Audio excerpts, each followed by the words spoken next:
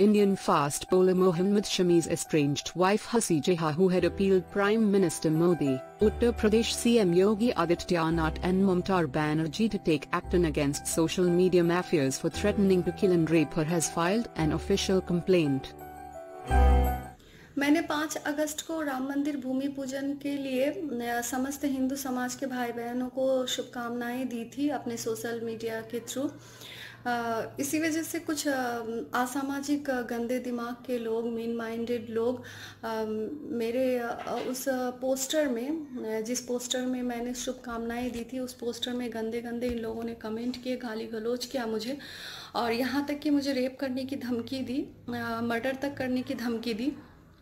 इन बातों से मैं असंतुष्ट हो गई, और मैंने कोलकाता लाल बाज़ार साइबर क्राइम और सीपी को मैंने कंप्लेन किया है।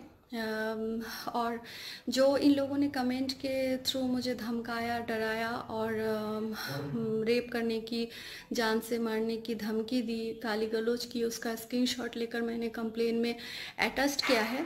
और मैंने अपने कंप्लेन में लिखा है कि इन अभद्र लोगों के प्रति जल्द से जल्द कार्रवाई करें और उचित शिक्षा देने के बंदोबस्त करें। देखते हैं क्या होता है। Hasi Jaha had congratulated everyone and gave a message of unity after the inauguration of long-standing faith and land dispute.